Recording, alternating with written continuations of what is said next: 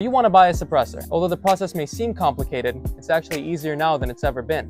And I'll walk you through the whole process. Start off when you walk in, ask any of the sales guys to help you pick out a suppressor that you would like. Once you've got one that you like, we'll take over here and get payment, and then you'll be directed to come see me over at my office. Over here, I'll use our Cerberus live scan system to get your basic information and your fingerprints. If this is your first time getting a suppressor, I'll also help you create an ATF eForms account. That's what we'll be using to submit your electronic form. While we're filling the form out, right over here, I'll also take a picture of you.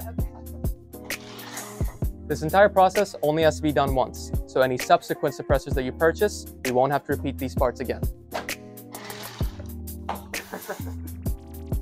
Now that the hard part's done, just sit back and relax as I fill out the rest of the Form 4. At this point, you'll be paying for a $200 tax stamp. This tax stamp you have to pay for each NFA item that you buy. And once you do that, you're all set and submitted.